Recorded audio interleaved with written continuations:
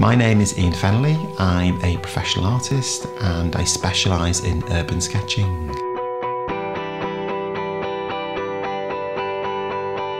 I've been using Inktense paints now for quite some time and what I particularly enjoy about using them is the fact that the intensity of colour is incredible.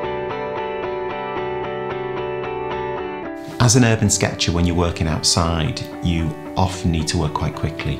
So the fact that the Inktense paints activate very, very quickly with the water and the brush just means that you can work a lot more quickly. With the Inktense, because the first wash is so permanent, the second wash comes on top and the two of them interact together, which gives you more richness and variety of colour. We have mango and we have tangerine and they just kind of give you so much more than just kind of regular orange. They're probably something that you would normally achieve by mixing, but because you don't have to mix these, they're there ready for you. They give you ideas. Using these amazing brushes, you just get these fantastic kind of effects. You can draw with them.